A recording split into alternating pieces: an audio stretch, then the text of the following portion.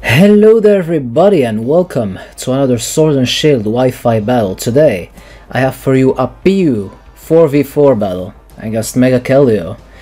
The one and only, let's go! Um, apparently this is like a cool format where he had a tournament that he won on Pokemon Showdown, so it should be interesting. Um, I'm trying out the Galarian Articuno, it's actually the first time I'm gonna try him out. Uh, it's Psychic and Flying, and um, I also have a Galvantula, a Perrserker, and a Hitmonlee. Uh, Mega Keldeo has a Charizard, Claydol, um, Cinccino, and a Lapras. So, yeah, unbelievable. Unbelievable that these Pokemon, all of them, every single one of them, is actually in the PU tier. But, I don't know. I guess Power Creeps and Smogon don't trust Smogon, I don't even know. Anyways, let's let's just get this battle started. Let's see how it goes. Uh, I have my lead uh, Perrserker. Uh, he's gonna decide to lead with his Claydol. I'm just gonna go for the fake out. Um, and then just U-turn out of there because it's super effective. And uh, basically move on from there. But surprisingly, Claydol is actually faster than Perrserker. I guess I have no idea. I forgot the speed of Perrserker to be honest. But there you go, big damage with the U-turn. And now I'm like, okay, he's in the range of my Galarian Articuno. And um, yeah, I'm just gonna go for it. And uh, yeah, just gonna try to take out his Claydol. Uh, unfortunately, I couldn't prevent the Stealth Rocks, but it's fine. That's gonna ruin the Focus Sash of Galvantula, which is mighty unfortunate, but yeah. What can we do? What can we do? Anyways, Mega Keldeo is gonna think about it, and uh, in the end, he's actually gonna decide to keep his Claydol, and he's gonna send in his Charizard. I don't know what he was expecting from my Articuno, but there's the Air Slash, and it's actually gonna do a lot of damage. And uh, I was like, okay, Articuno kind of does have a decent special attack. Maybe I can take a hit. There's the Fire Blast, but no. We are not able to take it. It's a Charizard. How do you expect to take a hit from it? It's a damn Charizard. But anyways, uh, gonna go into Hitmonlee and basically pray that this Charizard isn't Scarfed because if it's Scarfed it basically kills everything. It legit kills everything. But Hitmonlee has a decent special defense actually. Maybe we are gonna be able to take one hit. But there you go. I'm gonna go for Stone Edge. He's gonna switch. He's gonna go back into his Claydol. And since he does resist the Stone Edge and it's not stab, he's gonna be able to take it.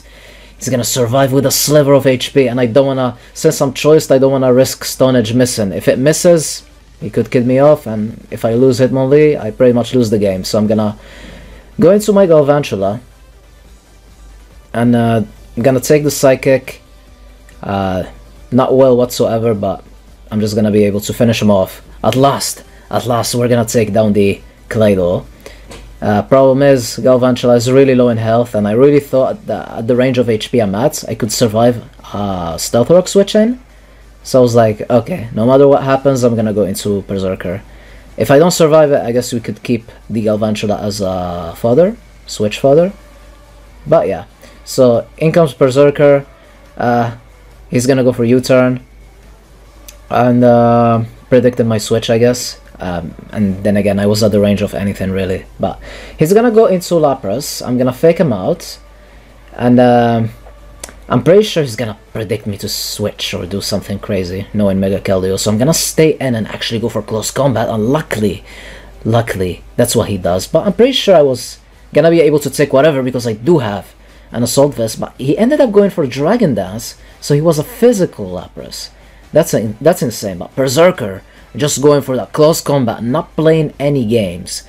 Uh, in comes Charizard. I do want to keep Perrserker for his um, Minccino, so I'm gonna switch into uh, Galvantula as father. Turns out I just died from Stealth Rocks anyways, and he went for Roost! Oh my god. So I was like, okay, Charizard isn't Scarfed. I was like, okay, Hitmonlee, Hitmonlee, Hitmonlee. Please, believe. Don't miss. Don't stone miss. Stone edge. Come on. And it is stone edge. It's not stone miss. And we're able to connect. And that's going to be able to take down the Charizard. And that's a huge advantage for us. And uh, in comes Cinccino. And uh, knowing Cinccino, he really doesn't have any fighting type, uh, any fighting uh, type attack. That's what I'm trying to say. So the switch into Perrserker is really safe. And uh, if something bad happens, I can just go back into Hitmonlee and lock myself into high jump kick. And hopefully doesn't miss. And speaking of missing, his tail slap actually missed. And uh, I don't know, maybe he has the item that makes the stuff flinch? Let's see. After he hits us five times, we don't flinch. Okay, I don't know what his item was, but close combat will finish off the Cinccino. It's gonna be the game. Good game, Mega Keldeo. GG. Hope you guys enjoyed. Have a wonderful day, allons-y.